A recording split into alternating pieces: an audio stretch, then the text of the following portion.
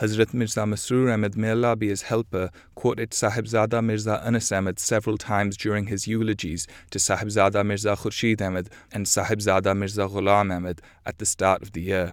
مرزا انس احمد صاحب بیان کرتے ہیں جب ان کی وفات ہوئی ہے میں خواب دیکھ رہا تھا بھائی خورشید اور میاں احمد اللہ تعالیٰ کے پاس چلے گئے ہیں اور ان کی ملاقات آ حضور صلی اللہ علیہ وسلم اور حضرت مسیم علیہ السلام سے ہو رہی ہے اور اس وقت کہتے ہیں کہ میرے دل میں بھی خواہ میں خواہش پیدا ہوئی کہ اللہ کرے میری ملاقات اسی طرح ہو جائے۔ سو میں نے عرض کیا کہ اللہ مجھے بھی اپنے قرب میں بلا لے۔ تو پھر اللہ نے فرمایا کہ تم آگے آ جاؤ۔ Now near the very end of the same year it was Sahibzada Mirza Anas Ahmad eulogy Huzoor ڈفور it his Friday sermon to following angio saving servant of another great servant of Islam this week Sahibzada Mirza Anas Ahmad was the grand son of Khalifatul Masih second the son of Khalifatul Masih III, and the cousin of our present Hazur. Born in the era of Hazrat Muslim Maud, from his very earliest years he was in love with the institution of Khilafat. تو بچپن سے میں عاشق تھا آپ کا لگتا تھا ایک مقناطیسی قوت ہے جو مجھے اپنی طرف کھینچ رہی ہے اور جوں جوں میں بڑا ہوا یہ محبت اور یہ عشق اور یہ پیار بڑھتا ہی گیا بڑھتا ہی گیا بڑھتا ہی گیا مسلم فرماتے ہیں کہ جب ہم قادیان سے آئے تو میں نے اپنے گھر والوں سے کہہ دیا تھا کہ تمہیں لنگر سے اسی قدر کھانا ملے گا جس قدر دوسروں کو ملتا ہے، کیونکہ حالات خراب تھے، اس لیے راشن ہوا ہوا تھا۔ فرمایا کہ ان دنوں میں نے یہ ہدایت دی ہوئی تھی کہ مالی تنگی کی وجہ سے صرف ایک ایک روٹی فی کس دی جائے گی۔ اور گھر والوں کو بھی میں نے یہی کہا تھا، اپنے گھر والوں کو کہ تمہیں بھی ایک ایک روٹی فی کس ملے گی۔ فرماتے ہیں، ایک دن میرا پوتا انس احمد روتا ہوا میرے پاس آیا اور مجھے بتایا گیا کہ یہ کہتا ہے کہ ایک روٹی سے میرا پیٹ نہیں بھرتا۔ میں نے کہا کہ میں نے تو ایک ہی روٹی دینی ہے۔ اگر اس کا پیٹ ایک روٹی سے نہیں بھرتا تو پھر تم مجھے آدھی روٹی دے دیا کرو اور میری آدھی روٹی اسے دے دیا کرو۔ تو فرمایا اس طرح میں آدھی روٹی میں گزارا کر لیا کروں گا اور یہ ڈیڑھ روٹی کھا لیا کرے گا۔ آپ نے صرف ایک دفعہ پوچھا، رضوہ میں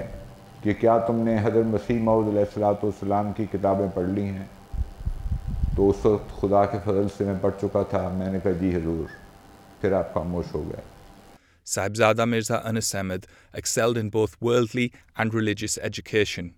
He mastered multiple languages and completed his MA degree from the University of Oxford. He soon returned to Rabwa to dedicate his life to Islam, and over the decades that followed, he proved himself an accomplished public speaker translator, teacher, administrator, and an outstanding scholar of Hadith traditions. Even in his youth, he would witness the persecution his own relatives faced due to their Ahmadiyya beliefs. تریپن کے فسادات میں آپ کو پتہ ہے حضرت صاحب قید ہوئے ساتھ حضرت صاحب امیر شریف احمد صاحب قید ہوئے ابا کہتے ہیں پہلے دن میں مجھے جس کوٹری میں ہوا کی کوئی آنے کی گنجائش نہیں تھی، کہیں سے ہوا نہیں آتی تھی۔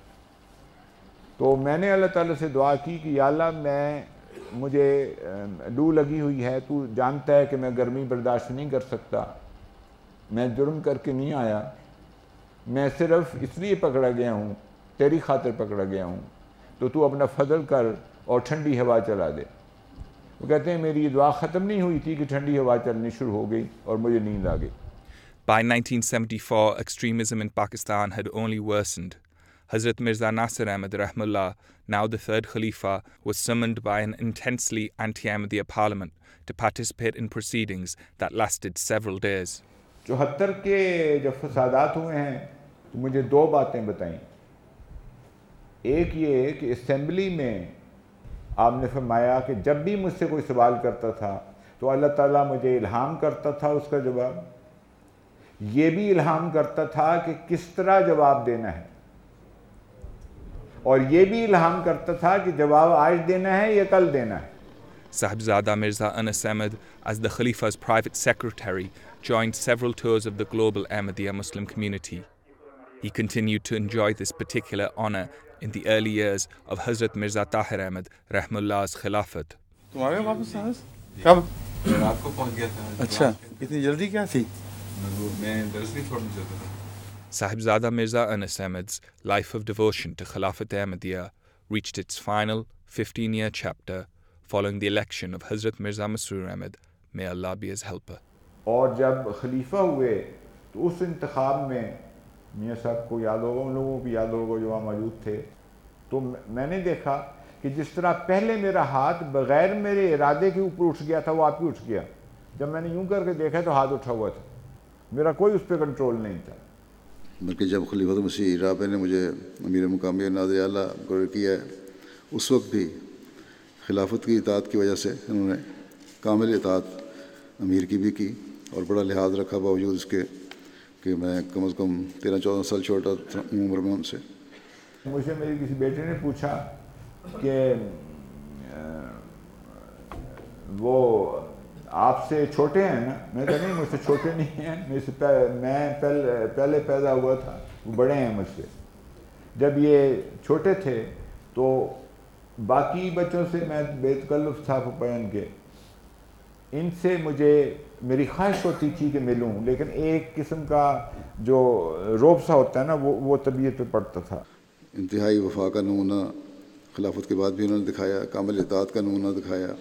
اللہ تعالیٰ ان سے رحم اور مخلوط کا سلوک فرمائے اور جو اللہ تعالیٰ کے فضل حاصل کرنے والا کا جو انہوں نے جس بات کا اظہار کیا ہے، اللہ تعالیٰ ان کی خواہش کو پورا فرمائے، ان کے پیاروں میں ان کو جگہ دے اور ان کی اولاد کو بھی خلافت سے وفا کا تعلق رکھنے والا بنائے۔